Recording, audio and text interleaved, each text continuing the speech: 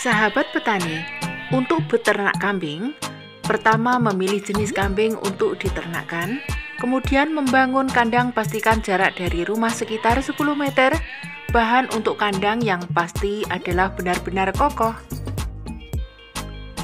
serta area bukaan yang cukup, kalau bisa kambing bisa dilepas di pelataran, kandang yang cukup pencahayaan, supaya terbebas dari lembab dan juga mudah dibersihkan. Pembuatan kandang sebaiknya panggung jadi kotoran langsung turun ke bawah kandang.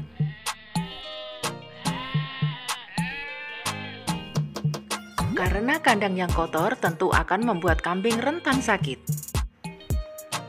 Pemberian pakan yang cukup Memperhatikan pakan hijau sekitar 5-7 kg setiap ekornya dalam satu hari Pakan lain yang diberikan pada kambing mulai dari konsentrat, pakan fermentasi, atau rerumputan.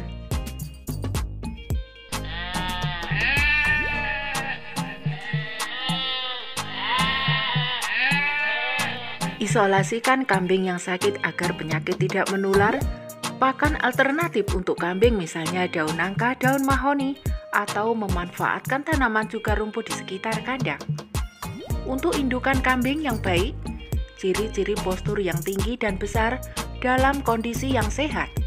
Perhatikan bagian tumit belakang, jika masih tinggi berarti induk masih belum banyak beranak. Demikian.